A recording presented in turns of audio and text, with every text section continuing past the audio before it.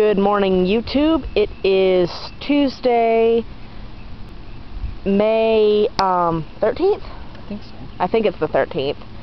And we are outside letting Pharaoh crawl around on the grass. And Bill is about to let him on the grass. There we go, buddy. Easy now. There we are. Look at you.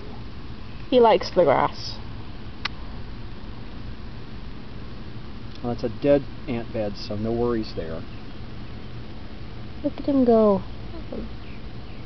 His markings and coloration are just beautiful. The sun really makes it pop when he goes through it. Mm-hmm. He's Oh. about a three and a half foot to four foot ball python. He's an adult, but um, you know you're going the wrong way, buddy. Hey, Pharaoh, come here, baby. Let's Why do you try- click like that? It's not like he can. Um, I know. It's, he's not a rat. Oh, see, he's periscoping now, or he was. Yeah, he's not a dog. I'm not worried about him getting away because he moves so slowly.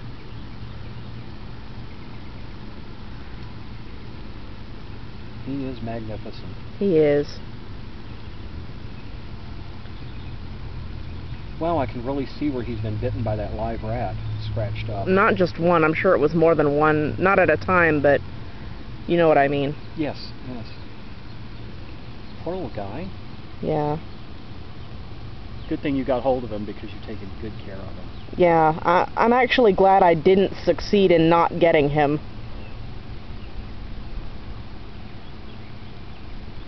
Uh,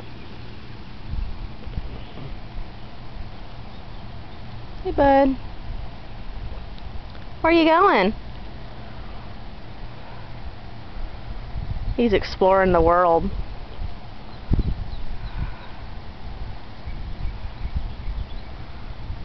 I just love the way snakes move. You smell the squirrels out here, don't you? I bet you'd eat a squirrel. It's a little too big for you, though. And their claws are a problem, too. You'd have to kill it before he got it. Yeah.